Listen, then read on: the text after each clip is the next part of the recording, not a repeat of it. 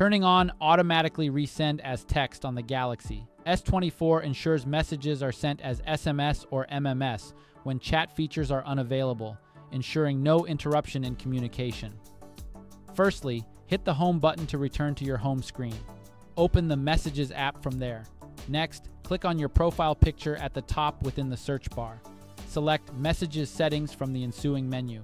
Navigate to RCS Chats. Scroll to Automatically Resend as Text and flip the switch to turn it off or on. If prompted for permission to auto resend as text, just tap Allow. To exit, press the back button to get to your messages or hit home to reach your home screen. If you're using the Samsung messages, tap on the More Options icon and select Settings. Tap on Chat Settings and look for the option that says If a chat isn't delivered and tap on it. Make sure to choose Resend as a text or multimedia message. Now your phone will automatically reset failed chat messages as SMS or MMS. And that's pretty much it. Thank you for watching. Don't forget to subscribe for more quick guides.